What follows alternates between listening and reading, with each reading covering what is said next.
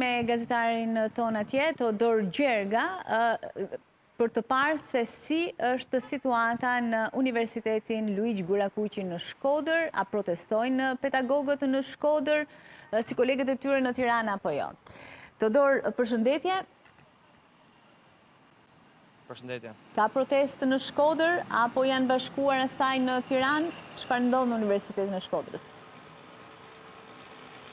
Në fakt, sapo jam njoftuar nga kreu i Sindikatës së Pedagogëve në qytetin e Shkodrës, Pjetër Saraçi, ku në orën 10 do të kenë një reagim, bëhet fjalë për një peticion të cilin e kanë firmosur kryesisht gjithë universitetet në vend, përfaqësuesit e universiteteve dhe bëhet fjalë për disa kërkesa të cilat janë parashtruar organeve kompetente në këtë prag të fillimit të ri të vitit akademik. Duhet thënë që vetëm ditën e sotme ka pasur një reagim, ndryshe nga qytetet e tjera ku ka pasur persona të cilët kanë reaguar në lidhje me këto deklarata, të paktën kanë dalë në mbështetje, vetëm ditën e sotme ka një reagim dhe nga sindikata në qytetin e Shkodrës.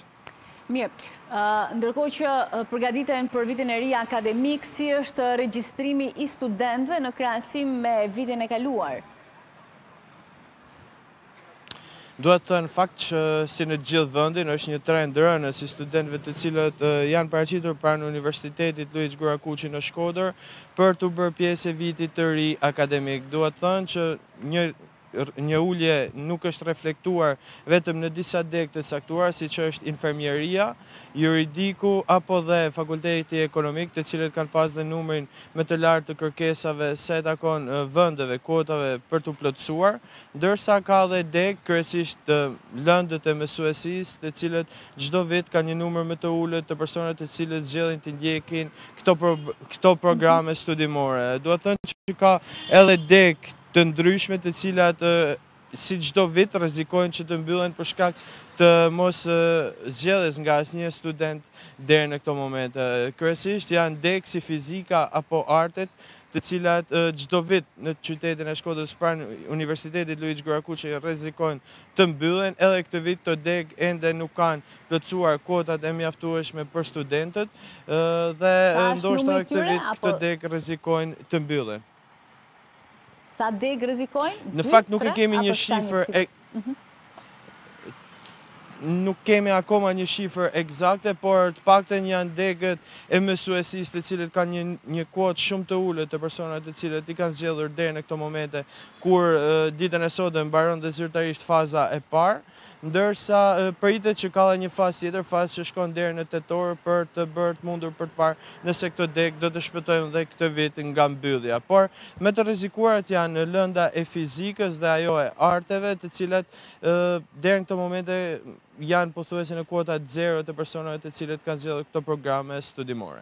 Todor si ka mundësi që shkodranët nuk i zgjedhin artet? Një qytet i artit, kulturës? Në fakt është një diskutim që ka lindur shumë kohë më parë, pasi nëse shohim në Tiranë studentët më të suksesshëm përtej modestisë janë nga Shkodra, por nuk dihet nëse kjo degë, kjo lëndë këtu në Shkodër ofron pikërisht atë çfarë duhet për këto studentë, për formimin e tyre dhe ndoshta edhe pedagogë të cilët janë zgjedhur në këtë degë. Në fakt është një degë e re, e cila kur u hap u mendua se do të kishte sukses për për të njëjtën arsye që ju më thatë pak më parë, por në fakt nuk ka rezultuar i tillë dhe çdo vit ka një kuotë shumë të ulët të nxënësve të cilët drejtohen kësaj dege për të zhvilluar ciklin e tyre mësimor. Por mbetet për t'u parë se si do të zhvillohet këtë vit, Esmer. E kuptoj.